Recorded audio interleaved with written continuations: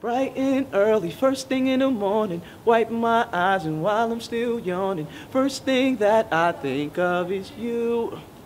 Oh yeah, my friends crack jokes and say that you got me whipped in a way and now I'm all sloppy.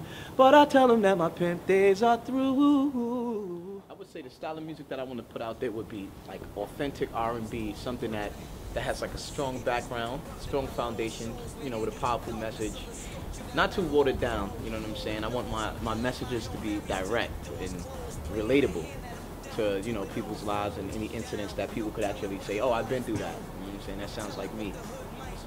I would say my inspirations growing up was like a Boyz II Men, uh, Jagged Edge, 112, definitely. But as I got older, I began to dig into like a Bob Marley, Marvin Gaye, just to get a deeper foundation on what music could do. And more so, I would say not in terms of soulful, in terms of content, the depth of content. So I wouldn't say I want to emulate any of them, but that's where I would draw the direction of truth into my music. Like it's just that depth of meaning from those type of artists.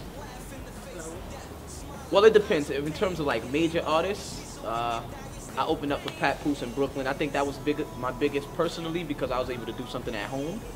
And, you know, people could relate from where I'm from. You know, other than that, I've done college shows all over where I'm just the main act you know, the headliner. Those were big, but I would say the, the Brooklyn shows are always more meaningful to me because it's my base, it's where I'm from, you know?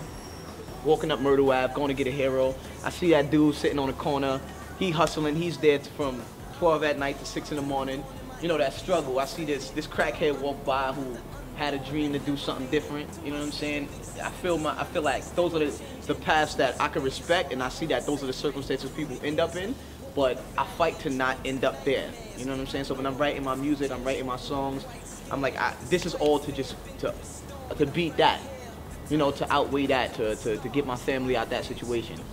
So that's where the inspiration is drawn from. 2013, well, I'm releasing a single called L-O-V-E featuring LL Cool J. That's gonna be coming in, I think, I believe early, well, it's February now. Give me like another week, it'll be on the radio spinning. From there, we actually we're putting together a tour where we can do a promo for that actual record. I got my Fly Nate Music Group label pushing. I got my artist Fresh there. I have a reality TV show I'm doing with DJ Obsession. So I got some big things coming for this year. Yo, this your boy Nathaniel, aka Fly Nate, and you now rocking with Obtrusiv Magazine. Peace.